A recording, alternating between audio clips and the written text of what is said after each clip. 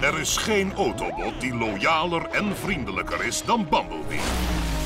Ondanks zijn beschadigde stembox weet deze trouwe vriend van Optimus zijn punt duidelijk te maken. Hij wil dat we instappen? Nee, alleen ik. Hoe weet je dat nou? Dat zei hij. Zeker als hij de Autobots moet verdedigen. Of zijn mensenvriend Raph moet beschermen. Je staat strak in de lak, Bee. Maar nu moet Bumblebee zich wapenen met moed en handigheid om zijn grootste uitdaging tot nu toe aan te gaan. Predaking.